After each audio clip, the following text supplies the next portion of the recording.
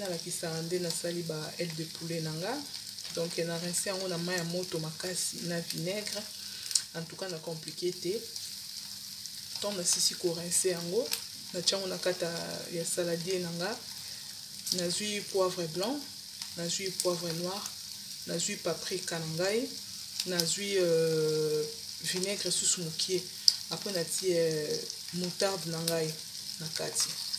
donc eh, navandi natiki yango natie sel na ngai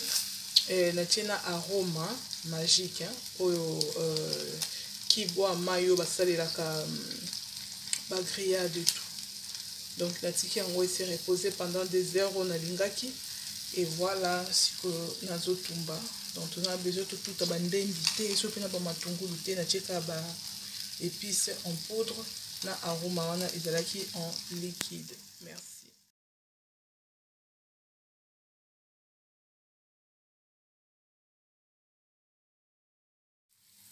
voilà la famille awa nao continue toujours na otumba nauti kobalola eza vraiment à surveiller donc nao continue toujours na otumba voilà bon kuku la famille awa naa na matungulu na ngai donc matungulu ngai akalingaka lisusu te nakoma kosala matungulu na ngai na kati yango natangisi mwa ndambo ya vinaigre natie mwa ndambo ya huile na biso donc naotia yango awa naotia yango mpe na sel epuis naovandisa yango euh, ata ba 30 minutes nde naotia likolo ya soso na ngai donc natia yango bacarton pour que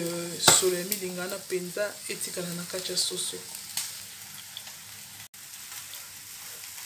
matungulu na ngai yango oyo nasi na kati eh. nasi bozomona yango oyo eza ya kokata epanzana kutu kaka yango moko donc nazwi veniatre na ngai yango oyo ngai loboko eza moko okomesure okotya ata mwa bouchon mibale eh. voilà oyo nazwi sel na nga donc naza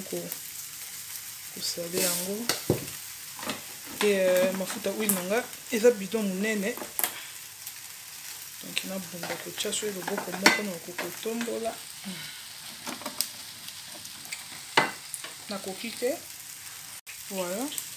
natye huile na ngai loboko ezalaki kaka moko nasi bomona huile na se Matungulu ntango ekovanda, ntango mungu ezokota ekobota lisusu mayi na huile wana ekosangana. Donc matungulu oyo ngai nalia yango comme legume. Donc na batemps oyo matungulu mpe ezalaka bien mpo na bapapa, batemps ya bagripe oyo matungulu mpe eza bien. Donc eza mpenza doux soki otyango vinaigre. Ezo boma batu ba ba misu ko swa ou bien ba batu ba ba oyo matu nde matungulu epikaka voila eko boma ba ko piquer piquer wana nionso tout wana donc soki olingi obakisa so mafuta to mafuta nde okoki kotia mpenza na gout na yo mpo ya accompagne yo ntango olia euh, mapeka na yo donc voilà nasi bomona deja komi nini ezala kobukana eh. nga na kobakisa lisusu mwa huile ndambo tellement molangi eza ya 5 kilo ya 5 litre na loboko moko na kamera na kokoka te donc voilà nasi bozomona matungulu na biso yango oyo merci